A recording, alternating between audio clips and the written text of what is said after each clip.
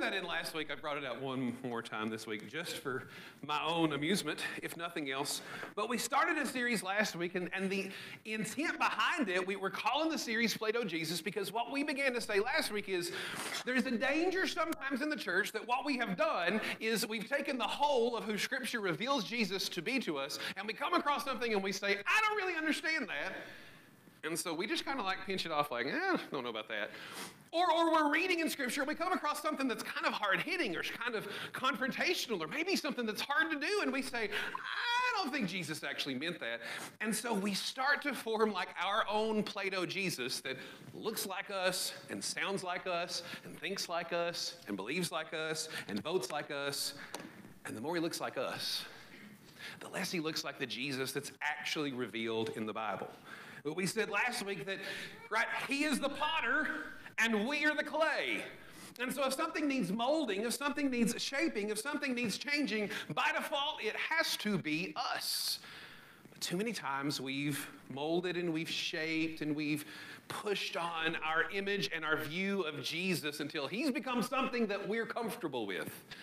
And so we're on a journey in this series where what we're going to do is we're going to dive in and look at who Jesus really is. And what we'll see many weeks, I think, is that we'll see like one group has maybe latched onto this part of the story and one group has latched onto this part of the story, but we need the whole counsel of Scripture to really understand who Jesus actually is.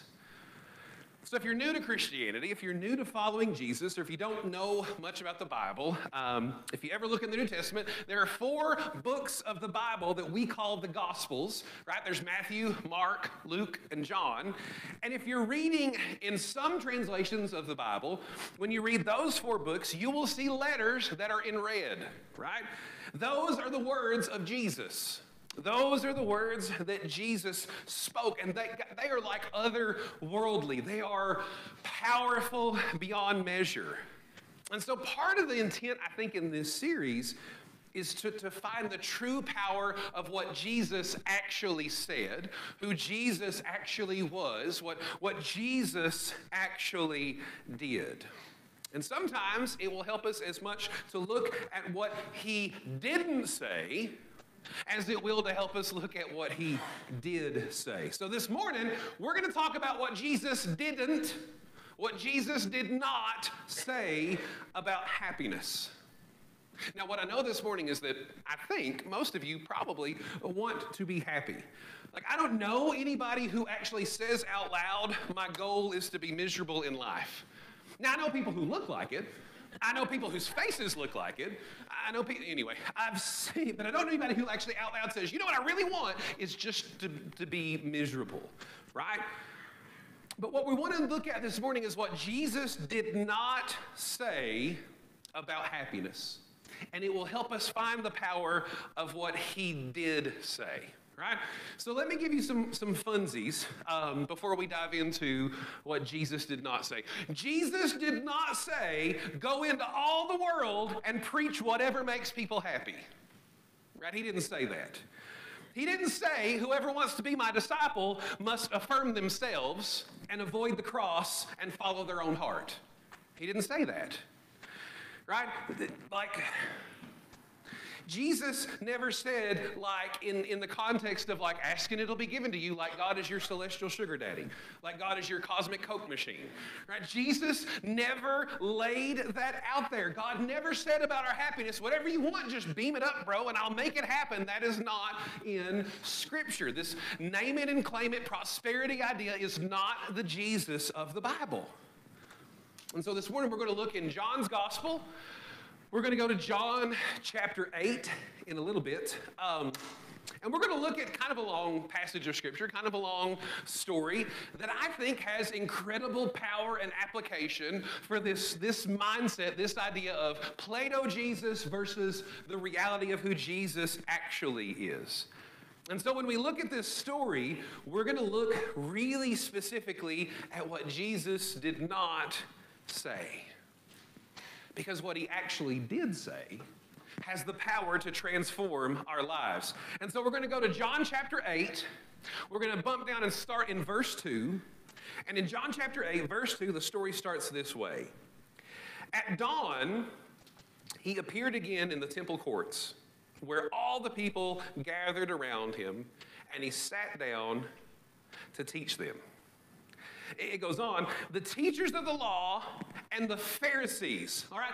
So, so the teachers of the law and the Pharisees, these were the people who looked really, really religious on the outside. These were the people who did all the right things, wore all the right stuff, said all the right words, washed their hands in just the right way. They were really, really, really good at putting on the mask. They were really, really good at going through the motions and doing what they were supposed to do. But in other places in Scripture, Jesus actually says that they're dead on the inside that they're like whitewashed tombs, that you paint them up white and pretty on the outside, but they're just like dead bones. There's nothing alive on the inside. So this is this is the group, this is the people that we're acknowledging there. And so it says the teachers and the Pharisees of the law brought a woman caught in adultery. I'm scanning the room to see who's in the room. Okay, Bristol's not going to comprehend. It's fine. So we're talking about a woman who was work with me here, caught in the act of adultery. This is a level 10 awkward situation in ministry, right? Like, we're out in the town square and Jesus is doing ministry, right? Jesus is speaking into and discipling his disciples and he's ministering to a larger group. Like it's like Jesus has a life group in the town square and he's speaking into them and he's doing ministry and all of a sudden here come these hypocritical religious men and they're probably literally dragging along a woman who the Bible says was caught in the act of adultery couple things about that particular statement, this particular story. Um, where was the man in the story? Like, if we're going to drag the woman into town square who was committing adultery, it takes two to tango. Like, where's the where's the man in the story? I have strong feelings about that. But anyway, um, he's obviously left out. Secondly, secondly, I just made a word up. I'm tore up from the floor up, and my coffee wasn't good this morning. So, um, secondly, what were these religious people doing that they found them acting in the, committing the act of adultery? Like, what were the religious dudes peeping at? That they I'm just I'm just wondering out loud with you this morning. Like what were they doing to catch this woman in the act, the Bible says, of adultery? That's a whole that's a whole nother deal going on. But nonetheless, here come the self-righteous, we do everything right religious people dragging along behind them this woman who has been caught in the act of adultery. And if she has been caught in the act of adultery, she probably doesn't have much on. Okay? Think for this woman, this would have been the lowest, most humiliating moment in her life, okay? Like it's easy for us to just like be like, oh, woman in sin. Maybe not that sin, but if you ever been caught in sin, like she's caught doing something, yes, she should not have done, but she is dragged into the town square, probably barely clothed, if at all, thrown down in the town square in the daylight in front of everybody and in front of Jesus. It's the most humiliating, lowest moment of her life. Here's what's interesting these religious men did not care about her, they were only using her as a tool to try to catch Jesus up in something. Right? And you can see that if we keep reading on. They made her stand before the group and said to Jesus, Teacher, this woman was caught in the act of adultery. In the law of Moses, it commands us to stone such a woman. I mean, think about that.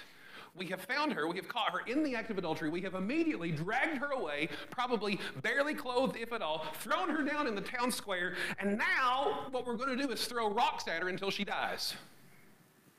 And they look at Jesus and say, All right, Jesus, now what do you say? Verse 6 goes on, and it actually shows us the motive behind their question. John tells us in verse 6 they were using this question as a trap in order to have a basis for accusing him.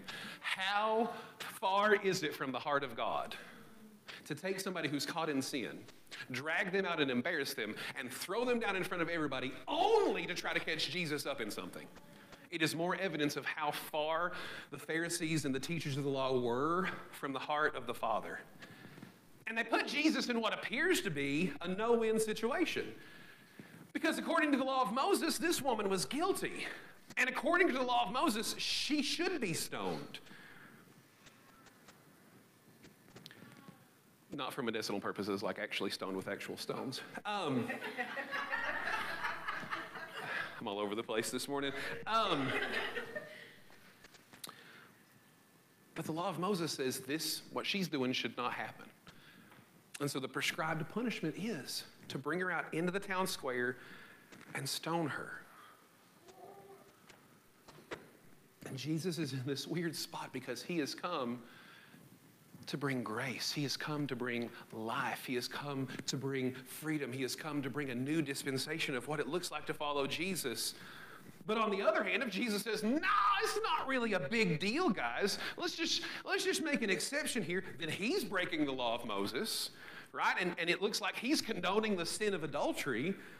What is Jesus going to do? He's in a no-win situation. So it's interesting when John 8 6 goes on tells us what they were doing. And then it says, But Jesus bent down and started to write on the ground with his finger.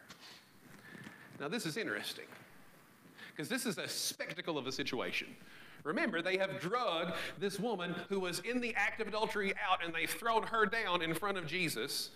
And they come and they say, Okay, Jesus, the law of Moses says we're supposed to stone her. What do you say, Jesus? And they're trying to trap him in something. And the Bible says that Jesus just kneels down and very quietly and calmly starts scribbling stuff in the sand. And so that raises the question that has been on everyone's mind that has read the Gospel of John in the last 2,000 years. What did Jesus write in the sand? We don't know for sure. There's some in, in, there's some insight, there's some scholarly tracks that maybe we can track on what we think he said, but John was not so kind to give us details. Like, I don't give John full credit on his writing of chapter 8, because I would like a few more details, good sir. But he doesn't give them to us.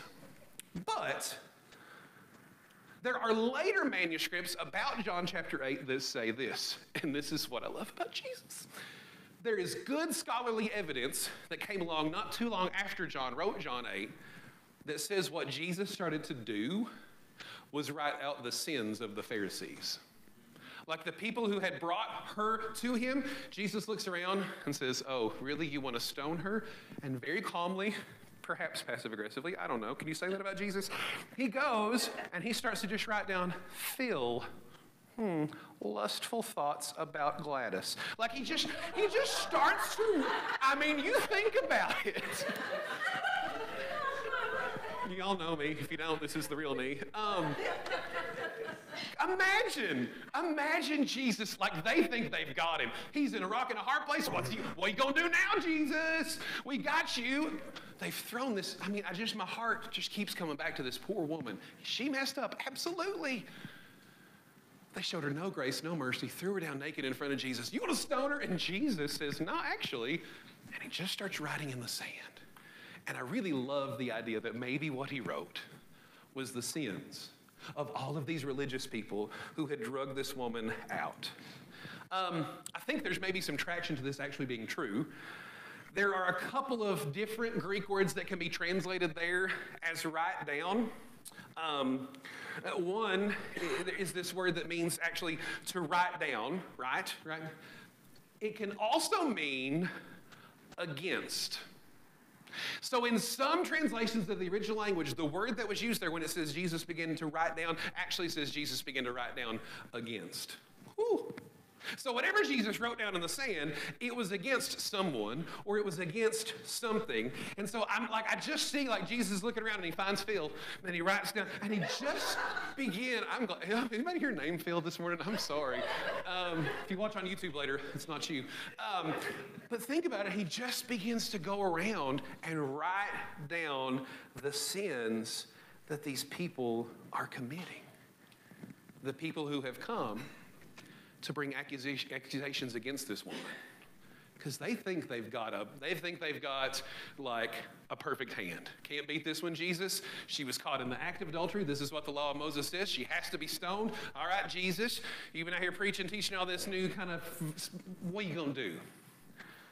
Jesus bends down and begins to write in the sand. So the story goes on in verse 7 when they kept questioning him. Now, that's a bold move. If verse 6 was what we think it maybe was, if there, if Jesus is in the process of writing out like a T chart, filled, like he's just like going down and he's listing all their sins, it was a bold move to come back and keep on questioning him. But they did. The Bible says when they kept questioning Jesus, he straightened up, so he stood back up from where he was kneeling down and writing in the sand, and he said to them, Let any one of you who is without sin In other words, if I can't write your name down here in the sand in this list that I'm making, you go right ahead. And in the context of the way this was written in the original Greek, when Jesus said, Who's without sin, it means like not just without sin, but the word connotation actually meant you haven't sinned and you've never wanted to sin. Like it means literally, with, even without wanting to sin. Now, I don't know about you. But there are a lot of times when I didn't do it, but I really wanted to do it. Like, can we be real this morning? Is that too is that too real for the pastor to say there's a lot of times he wants to sin?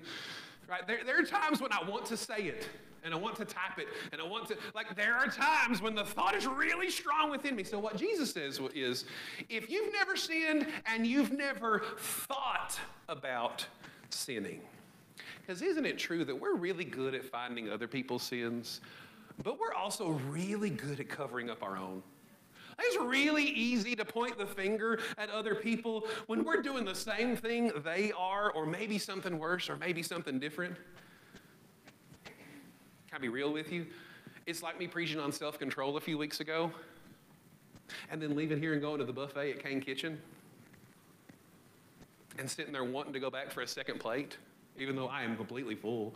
I have, my needs have been met. I am full. And I'm wanting to go back for a second plate, and I'm eyeing the ice cream machine, right? Like I didn't do it, but I really wanted to, so I would have been disqualified because I really wanted to be gluttonous, right? I really wanted to be a glutton. And so Jesus says, Whoever is not only without sin, but without having wanted to sin, you go ahead and pick up the rock and you can be the first one to hurl it at this woman, right? Let he who is without sin be the first to throw a stone at her. Verse 8 says this uh, Again, he stooped down and wrote on the ground.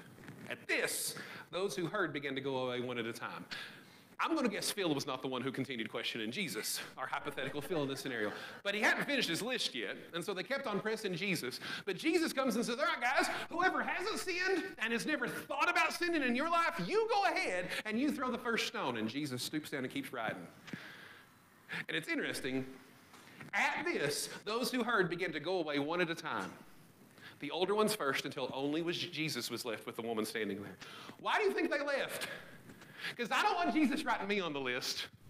I don't want him getting to me like he has, as Jesus only could. He completely flipped what they thought was their trump card and he completely turned it back on them like this is an ultimate Uno reverse. And Jesus comes back at them with this argument, and all they can do is just walk away.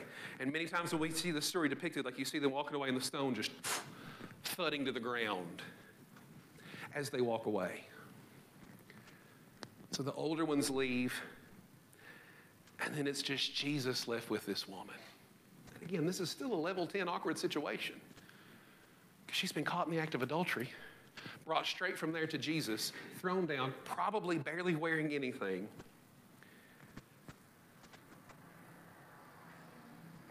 And then Jesus straightens up and he begins to ask her, Woman, where are they? Woman, where are your accusers? Has no one condemned you? And she says, No one, sir. And Jesus says, Neither do I condemn you. Praise God. Do you understand? Jesus was legally completely justified saying, All right, boys, grab your stones and do it. Like he flipped a whole mindset on his head in about nine or 10 verses here. Jesus was completely justified in doing it. But he showed this woman grace that perhaps no one in that situation, in that culture, had ever been shown before. And he looks at her and says, Where are your accusers? I don't have any, Jesus. And he says, I don't, I don't, I don't condemn you either. But here's what Jesus did not say. Jesus did not say, then neither do I condemn you. Go do whatever makes you happy. Go now and listen to your heart right? It doesn't matter what you do as long as you don't hurt anybody, right? He does not look at this woman and say, You do you, boo boo. Like, he, he does not say any of those things that perhaps our culture would say. Jesus says, Where are your accusers? Has nobody con- condemned you? She says, No one, sir. And he says, Neither do I condemn you. And this is what Jesus did say. He said, Go now and leave your life of sin. This was not a condemning, judgmental statement. This was full of love. Jesus has just shown this woman the ultimate grace and love that he could have possibly shown her in this situation. He has just literally shielded her from death. And he says, I don't condemn you either. But go and leave your life of sin. It wasn't a condemning statement, but it was full of urgency. Go, go now. Don't wait. You are free. You can live a better life. Don't wait. You don't have to live in shame anymore. You don't have to live for like the lower things of this world. You don't have to be afraid. You don't have to hide and slink in the darkness. I've set you free. Now go and be free and live free. What Jesus says to her is full of love and it's full of grace. You don't have to be held hostage anymore. You are free to, to go and, and walk in truth. But what I think is interesting is I think that there are two versions of Play-Doh Jesus maybe at play there. Because sometimes there's part of the church that just says, Neither do I condemn you, and we stop there, right? Like, who are you to accuse her? Neither do I. Like, that's absolutely a part of who Jesus was. But in the next breath, he said, Go and leave your life of sin. My fear is there's also a branch of the church that says, Go and leave your life of sin without the grace. It's all, you know, like scorekeeping and, and watching and judgmentalism and check boxes of did you do this, did you not do this? Like both of those have to be brought together to have the full understanding of who Jesus is. By themselves, they're just Play-Doh versions. And by themselves, they turn into like hyper grace and they turn into legalism. We have to bring them together to fully understand who Jesus is. Because we read this story and we read about this woman and we think, oh my gosh, I cannot imagine being. Maybe not that sin. But are there, are there sins? Are there issues? Are there hangups in our lives? We don't have to be held hostage to them any longer. Why is it that so many of us give in to temptation so often? It's not a hard question because it looks so appealing. It looks fun. It can be fun, right? Can a pastor say sin can be fun? I'm just saying, like, the enemy is not like trying to allure you away to like things that look awful. He is trying to make things look appealing. That's why Hebrews calls it the fleeting pleasures of sin. It's pleasurable for a little while. It can be fun for a little while, and then it will mess us up. Because what does temptation do? Sin promises satisfaction at the cost of disobedience to God and eventual pain to you. Sin promises satisfaction at the cost of disobedience to God and eventual pain to you. Sin comes along and says, You're going to like this. It's going to be good. It's going to make you feel happy. You're really going to enjoy it. It promises you satisfaction at the cost of being disobedient to God and eventually bringing pain on yourself. I, try to, I like to try to get into the mind of this woman that was caught in the act of adultery. We have no idea what kind of woman she was. We only know um, the story of her most egregious sin that she happens to get caught in. Like maybe she was an evil woman who woke up one day and said, You know what I want to do today is I want to be a homewrecker and I want to go like wreck somebody's marriage and ruin my life and possibly get stoned today. Maybe that's what she said. But maybe she was somebody who had been brought up and raised the right way and just made a series of bad decisions and let her heart and temptation take her somewhere that she shouldn't have gone. And she woke up one day and said, Oh my gosh, what have I done? Very likely could have been that. It's interesting. The Lord has broken my heart for this woman as I've read this story, and that's never happened to me before. Like I've read it and thought about, oh my gosh, the grace and mercy. But He's just broken my heart for this woman in this story this time. Because here she is finding herself barely dressed in the most publicly ashamed moment of her life. And how did she get there?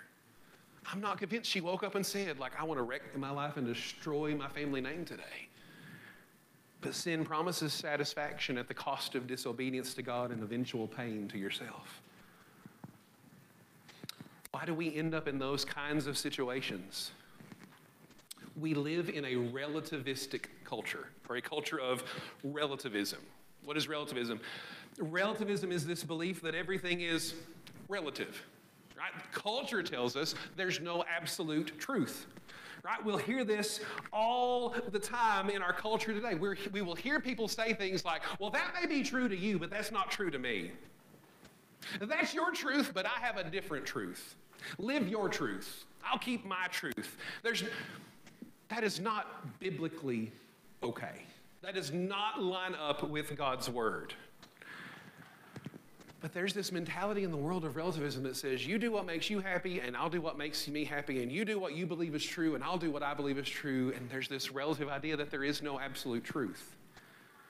Here's the fundamental problem without a belief in absolute truth, then truth becomes defined by whatever makes me happy. And when the bottom line is my happiness, then happiness becomes the, the standard by which I judge my actions.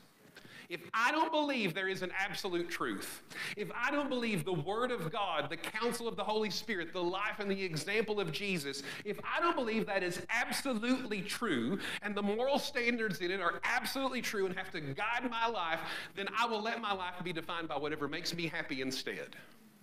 And when I define my life by my happiness, when the bottom line is my happiness and not my holiness, not my obedience, not the standard that God has, has set for me, I will get myself into a world of hurt.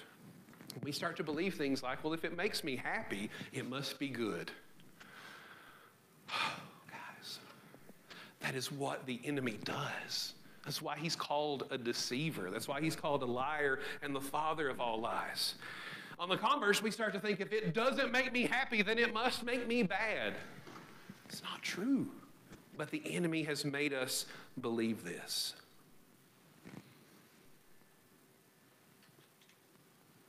Like we start to say things like, I know everybody says we're not supposed to do this. I know everybody says this is wrong, but it feels so right.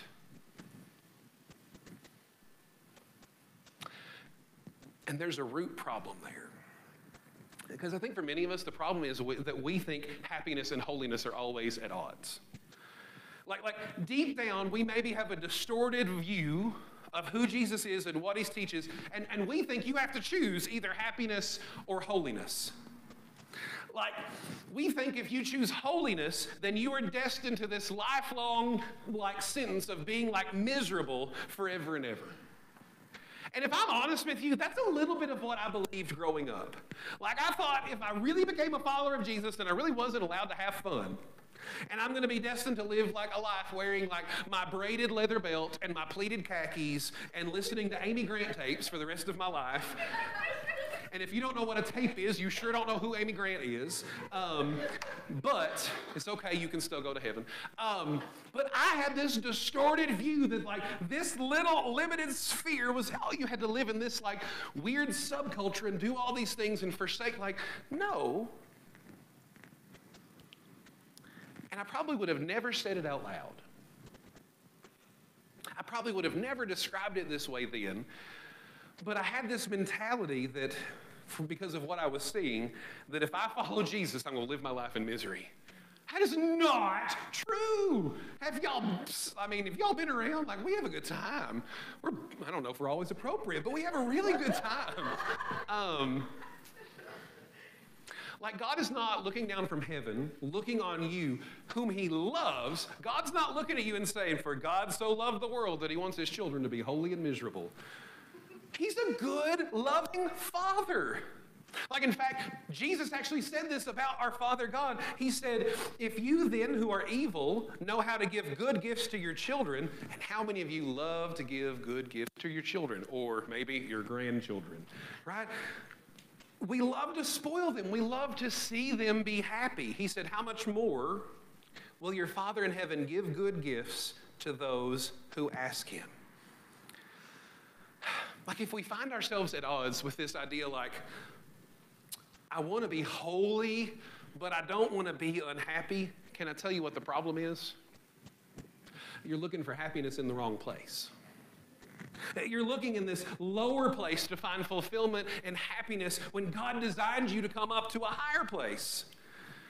In fact, Max Lucado uh, tells a really good illustration, and I'm going to completely butcher it and steal it and make it my own. Because, um, yeah. Um, but, but Max asked this question. He said, Would a fish ever be happy on the beach? Like, imagine you take a fish out of water and you put the fish up on the hot sand of the beach. Would a fish ever be happy there? And I'm almost certain the answer would be no, right? Like, what's that fish going to be doing? He's going to be flopping. I would illustrate, but that's a terrible idea. But the fish would be laying on the beach and he would be flopping. Now imagine we give this fish some things of this world to help the fish feel happy. Like we walk up to this fish laid on the beach and we just start making it rain Benjis, right? Like we just give him all the cash that we can imagine. Is the fish now happy? No. Um, imagine instead we throw a party for the fish and we get all of the best looking fish out of the sea and we bring them all together and we hire, uh, I'm trying to think of a really cool DJ name for a fish on the fly, and that was terrible. So we hire a DJ and we come in and he drops the beat and there's all these fish and he's surrounded by all of these fish that are just great. Is the fish happy now? No. Let's imagine we bring him a giant margarita on the beach because he's laying there. Did I just bring up a margarita in church? I sure did. But let's imagine we bring him a little drinky drink, right? And it's got an umbrella. Is that fish happy now? No. Oh, let's imagine we go and we take a selfie with the fish and, and we're like making fish face. And we go out and we put it on our social medias and people are commenting like, ooh, fire. And it's getting likes and shares and all the things like, is the fish happy now? No. Why is the fish not happy? Because the fish was not created to be on the beach. Could it be that the reason we're not happy is because we are trying to live for a world that we were not created for? We are trying to live seeking after things that we were not created for. We are trying to live in pursuit of things that are so far below what our Father in heaven has for us. Like if we find ourselves wondering, why we're not happy living for the things of this world. Maybe we need to lower our expectation of the things of earth because we were not created for the things of earth. We were created by God, for God, to live for things that are not of this world. And that's why sin promises, but it never delivers. It promises satisfaction at the cost of disobedience to God and eventual pain to you. So here's what we need to understand, and this is important, I think. Holiness is not mutually exclusive of happiness. In fact, they're really related. Holiness is the pathway to true happiness and joy. Let me say it again. They're not mutually exclusive, exclusive. They're united. They're, they're connected. When we, when we learn, live for God and not for the lower things of this world, when we begin to live for the higher things that are eternal, that's the pathway that takes us to true meaning in life. Holiness is a word that freaks people out in 2024. It's the standard. We serve a holy God who consistently throughout Scripture will say things like, Be holy because I'm holy. Pursue holiness without which no man will see God. What does holiness mean? Who's holy? God's holy. And so holiness is doing what? Becoming like Him. And so there are things we have to evaluate. Would my father do this? Would my father be entertained by this? Would my father say this? And over time, he'll begin to skim those things away and help make us more and more like him. That's holiness. Now, sometimes the church has tried, as we often do, to manipulate that. And we've begun to make like lists and check boxes. Well, holiness is you wear a skirt to here and you grow your hair to here and you don't wear this and you don't grow. He doesn't need our help. He put the Holy Spirit inside us. He's our comforter. He's our teacher. Jesus lived the example for us. The Father is the model that we go after. He's got it covered. And He doesn't need our help, but when we walk with Him, He wants to make us more like Him. And it does not mean that we're going to go off and be like aggravated and like He wants us to be happy, but He wants us to be happy in His will. Psalm 16, verse 11. David said this He said, You make known to me the path of life. In your, pleasure, in your presence there is fullness of joy. At your right hand are pleasures forevermore. That's who our God is, right? He makes known to us what his path is. In his presence, there's fullness of joy. In his right hand is everything we could ever imagine. He wants us to have pleasures and joy and happiness, but he wants us to walk with him. And he won't always take you on a path that leads to happiness. He'll sometimes take you on a path into the wilderness that'll make you holy. But he always has your goodwill at heart. And that's why this woman at the well in John chapter 8, she was as guilty as we are guilty, maybe not of the same things, but she was guilty. And she's in her most shame filled moment of her life. And Jesus does not look at her and say, You know what? I am embarrassed by your behavior. After all I've done for you, this is the way you choose to live. You are pathetic. Jesus did not say that to her. Our flesh might say that to her. That is not what Jesus said or modeled for us. What Jesus said is there's something so much better. Go be free. Go walk in truth. Go, go leave the lower things of this sin filled world and, and live for the things that really, really matter in life. But, guys, this morning, what do we do? What do we do when we know what's right, but we keep doing what's wrong? What do we do when we feel trapped? Like it looked good and it promised something, but it didn't deliver, and now we can't find our way out. What do you do when it's wrong and you know it's wrong, but you feel like you can't get out? What do you do when the thing that, that, that used to be just a drink at the end of the workday becomes something that consumes and dominates your life?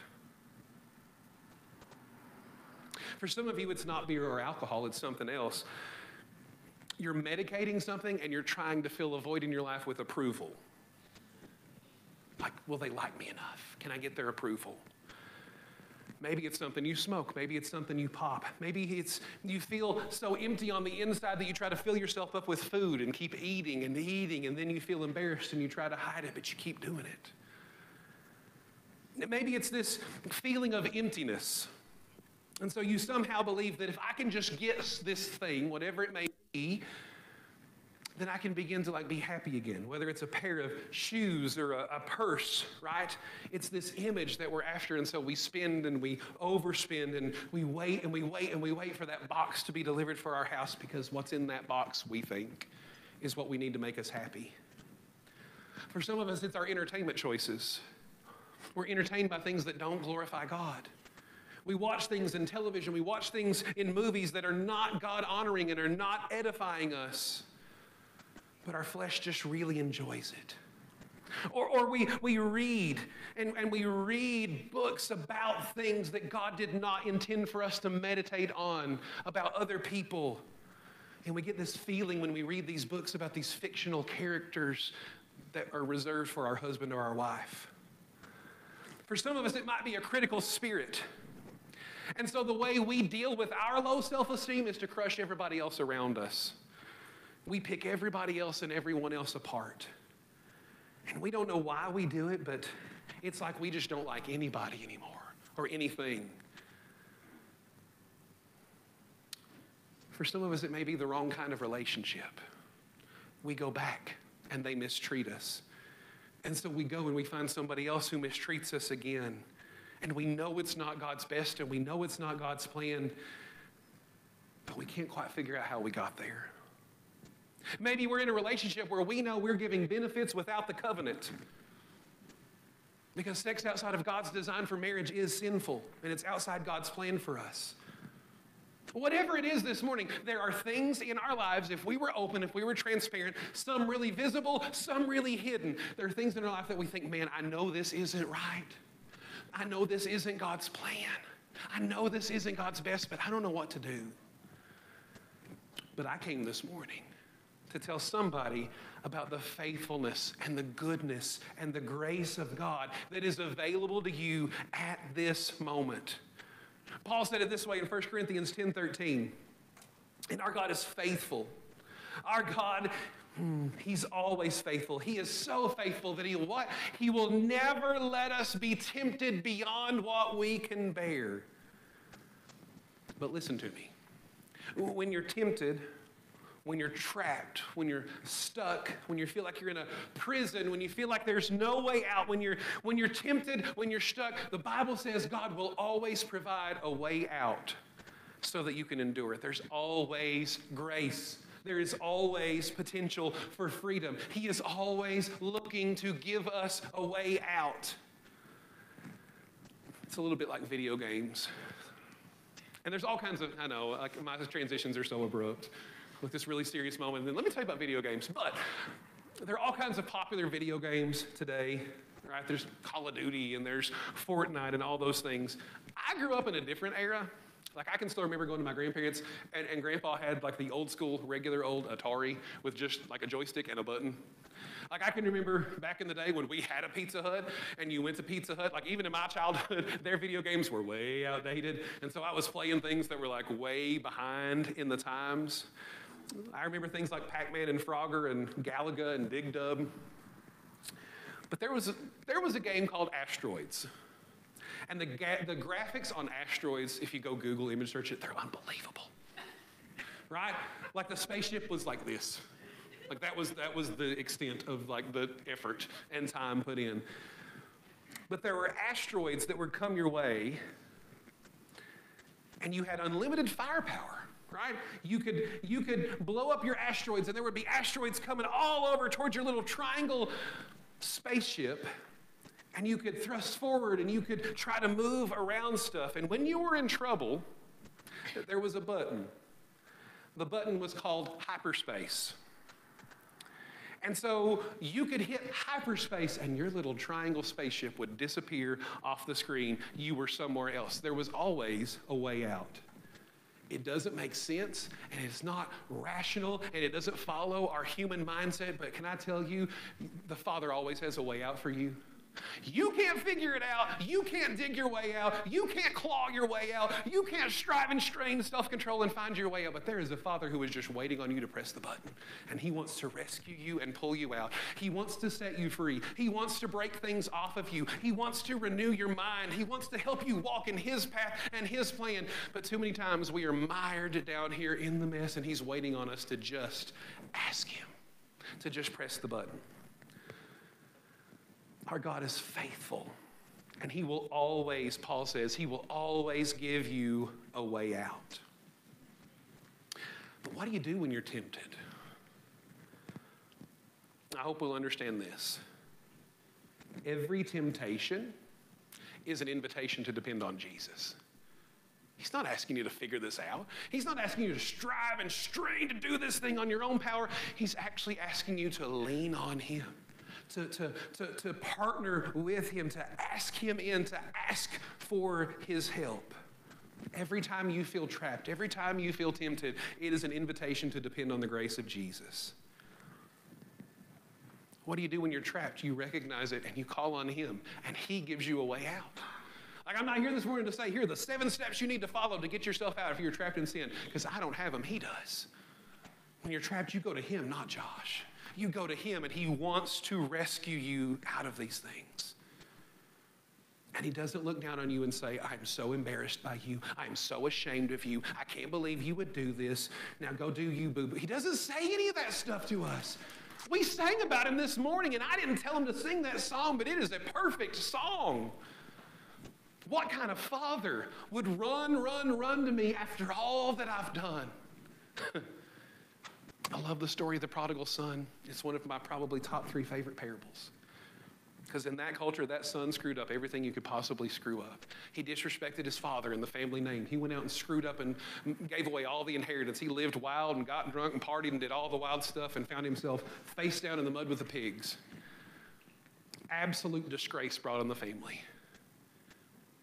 And biblical scholars tell us that if we read between the lines of what that story was saying, that what the father actually did is he went out to the edge of his property line every day and he looked just hoping that today would be the day that his son would come home.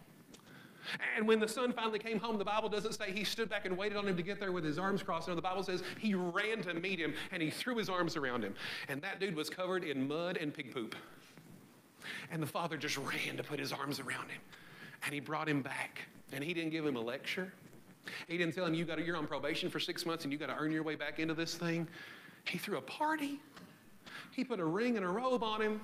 He put sandals on his feet. He said, Kill the fattened calf. We're having a hog roast, hire a DJ. We're having a party. He just threw everything to celebrate this son who's come home. So don't you let the enemy convince you this morning that because there is a sin issue in your life, that the father is up there just like, it's not who he is. It is one of the Play-Doh versions that a segment of the church has created. It's not who he is. Now, at the same time, he is not up there saying, okay, let's just dust you off and do it again. No, what he's saying is, go and sin no more. I, I want to help you live a life free from this thing. I don't want you to keep in this spiral. I don't want you to keep in this rabbit wheel. I don't want you to keep in this cycle. I want to break it and help you live free. But he's waiting on us to ask him. And there is a big difference between remorse and repentance. Uh, remorse is I got caught. And I'm really, really sorry that I got caught. And I'm like really emotionally upset that I got caught. But repentance is something entirely different. Repent means to turn.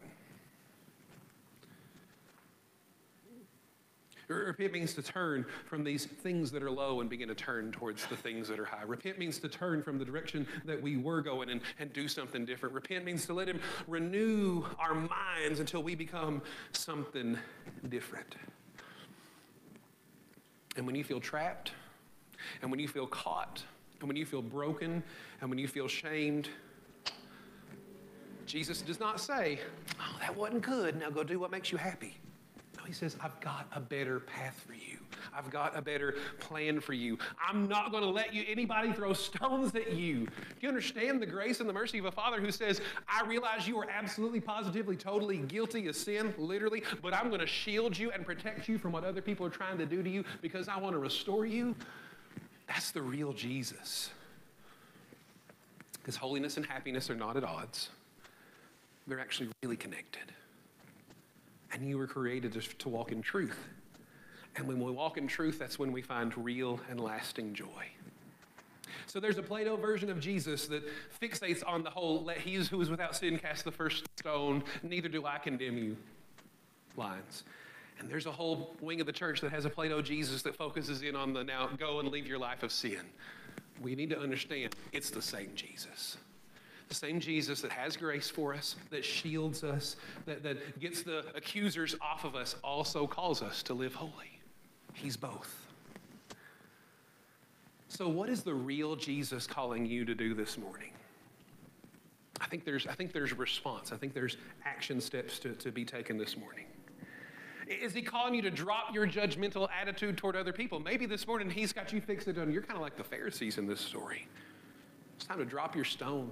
Start shielding and protecting and loving on people. Uh, maybe this morning it's, it's the go and leave your life of sin line. Uh, maybe Jesus would say, hey, there are things in your life, there are sin cycles that you are caught in, and you know that you are. But it feels like it's been covered up and kind of pushed away and subdued for so long that you don't know what to do. He says, I've made a way of escape for you. But I need you to come and invite me into this thing and let's deal with it. Maybe this morning you've never given your life to Jesus for the first time. He's in the room. His standard is holiness. He expects us to live holy lives. Things that we have tolerated, things that we have made excuses for, things that we have danced around, things that are undermining our relationship and keeping us from His best. Things that are keeping us from really walking out the kingdom lifestyle and seeing what the early church saw. Compromise What do you need to repent of today? What strongholds need to be torn down today? What do you need to finally acknowledge to Jesus today and let Him set you free from? He's here this morning, and He wants to meet with us. He wants to dust us off. He wants to give us a new mindset if we've been that like religious accusatory person. He wants to make a way of escape if we're caught in things that need to be dealt with. But he's looking for us to ask. He's looking for us to come to him and actually have a heart of repentance. So let's stand this morning.